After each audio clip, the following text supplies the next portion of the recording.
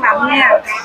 Dạ dạ mấy cái lần à, đại lễ chẳng hạn như lễ à, 12 tháng 8 của Phật thầy rồi lễ của à, à cũng đều đến à, dự lễ hả cô dạ. lễ nào cũng có cô hết. Lễ nào cũng có cô hết. Lễ lễ cô là đông